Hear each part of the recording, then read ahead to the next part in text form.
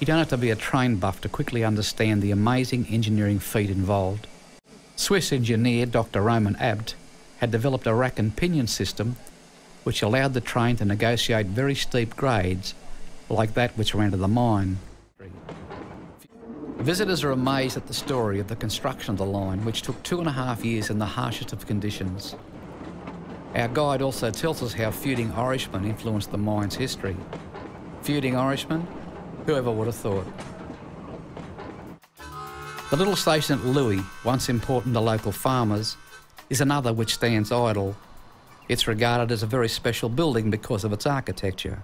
Across the road, the butcher, draper, and grocer are all closed. But in true Aussie fashion, the pub is still open.